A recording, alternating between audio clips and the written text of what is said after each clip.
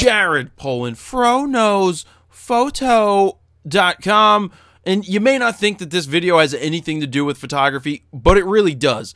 Uh, right here, I'm on funkysofa.com, and you you may be sitting there going, "What does this have to do with photography?" Well, I need to fill a uh, a studio space with some cool sofas that would be great not only for video but for photo shoots.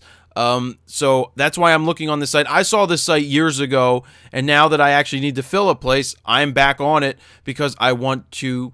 I, I want to fill it with really cool stuff. Look at this Maryland sofa, the Garbo sofa. Uh, that I love, especially in purple. Um, I I would love that. I love this 360 lounger. Not sure that the 360 lounger would be best for a photo shoot, but you know, if you need a if you needed to fill a cool studio, I think it would be cool to have that in there.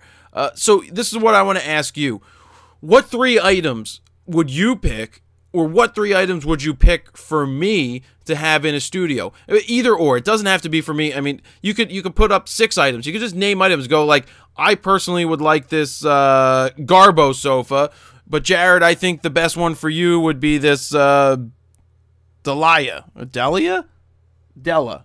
Della sofa. So that's what I, I would like you guys to do. Help me pick out the the type of sofa or the type of love seats, or check out the different pillows and ottomans, uh, even a sleeper bed. You know, check out this site. Let me know what three items you think I should buy, or what three items that you would end up buying if you could pick anything from the store. Uh, if you're on FroKnowsPhoto.com, please leave a comment in the Facebook uh, in the Facebook comment box below, just so we can keep everything in one place. And just tell me what three sofas or three items would you pick from FunkySofa.com that you would want in your own studio or your own apartment, or you think that I would, you know, that would suit me well. And tell me what color. You know, do you think I should have a pink fuzzy sofa? Should I have a leopard print sofa?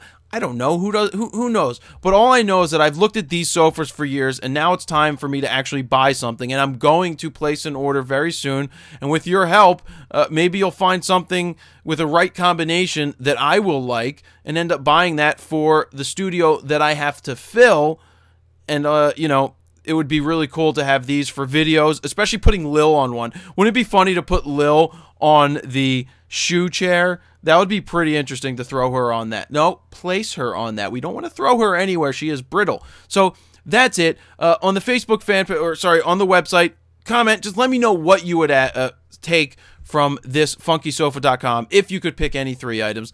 And that's about it.